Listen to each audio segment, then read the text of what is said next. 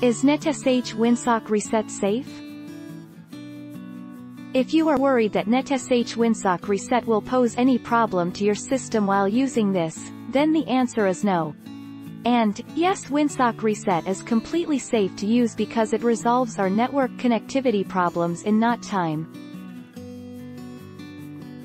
What does NetSH IP Reset do? Command netsh int ip reset works in Windows 10 as a magic setting the PC's protocol back to the default in such situation. The tool also solves major of the browsing and network connection issues like in case Wi-Fi adapter sees a network but not accepts the TCP IP address. What will netsh winsock reset do? NetSH WinSock Reset is a command in Windows to recover the computer from any socket errors which arise when you download some unknown file, or due to some malicious script on the computer. WinSock settings contain your computer's configuration for Internet connectivity. What does NetSH int IPv4 reset do?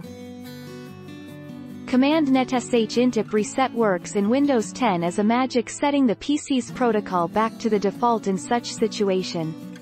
The tool also solves major of the browsing and network connection issues like in case Wi-Fi adapter sees a network but not accepts the TCP IP address. What does WinSock mean? Windows Sockets. WinSock. WinSock is actually short, Windows Sockets, which are files that allow Windows programs to connect to the Internet and other computers. Technically, WinSock is an Application Programming Interface API, that developers use to make their programs network-enabled. What happens if I reset WinSock? Try watching this video on www.youtube.com, or enable JavaScript if it is disabled in your browser. It just resets your TCP IP stack. You'll have to reassign your fixed IP, if you have that, and your DNS settings, maybe. If your IP and DNS are set to be acquired automatically you'll probably notice little change. Don't forget to subscribe for more of these videos.